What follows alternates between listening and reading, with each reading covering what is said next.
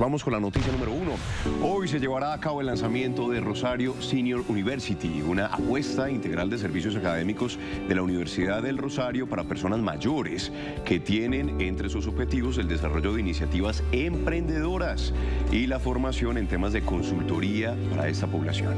En el marco del evento se presentarán los resultados del estudio Desafíos y oportunidades de empleo y emprendimiento de los adultos mayores.